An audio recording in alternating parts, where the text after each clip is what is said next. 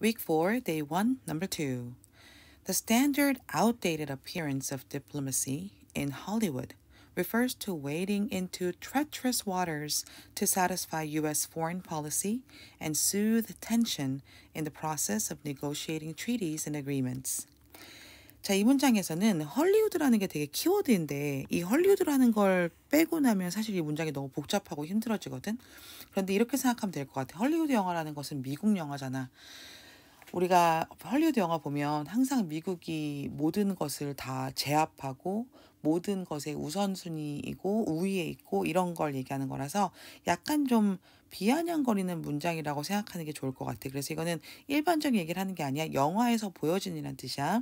자, 일반적으로 구닥다리, 지금은 안 그래. 예를 들어서 구닥다리, 구시대적인 이 외교의 모습이 헐리우드에서 어떻게 보여지나 그러면 우리 한번 참고해 봅시다.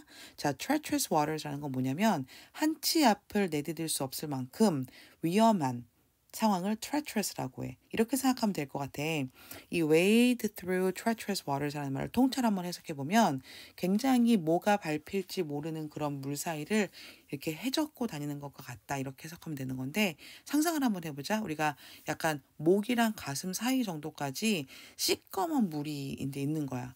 그리고 물 안에 뭐가 있는지 몰라. 그래서 이 밑에서 뭐가 나올지도 모르고 내가 여기를 지금 밟으면 이 앞이 뭐 낭떠러지가 떨어질지 아니면은 이 앞에서 뭔가 뭐 괴물차가 나올지 전혀 모를 만큼 굉장히 불안하고 위험하고 믿을 수 없는 그런 상황을 treacherous라고 얘기를 하는 거거든. 근데 거기를 지금 해치고 지나가야 되는 거야. 누가 지나가야 되는 거냐면 미국과 맞서는 팀을 얘기하는 거거든. 그치? 왜? 어떻게든 미국의 외교 정책을 만족시켜야 돼. 뭐 상대 방이 소련, 뭐 소비에트 대학건 간에 뭐 프랑스건 영국이건 아프리카건 아시아건 간에 이 헐리우드 영화에서 보이는 이 외교라는 것에 대한 모습은 참 기본적으로 좀 구닥다리이긴 하지만 대개 미국 쪽의 그런 외교 정책을 만족시키기 위해서 상당히 위험한 상황을 지금 해치고 지나가는 것처럼 보이고요.